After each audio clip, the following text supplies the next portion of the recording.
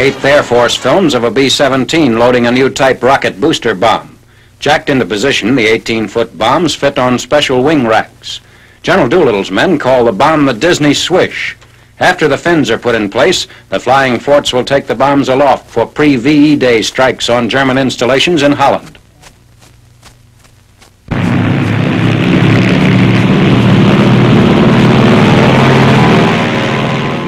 Still in the experimental stage, the Disney Swish is used against special targets such as rocket sites, sub and E-boat pens, and similar objectives where penetration of concrete emplacements is necessary.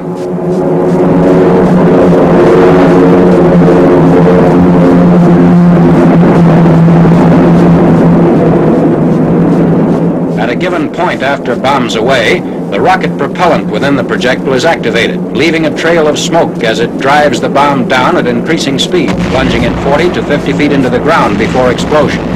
The target is a rectangular structure at right center screen. Two hits are scored.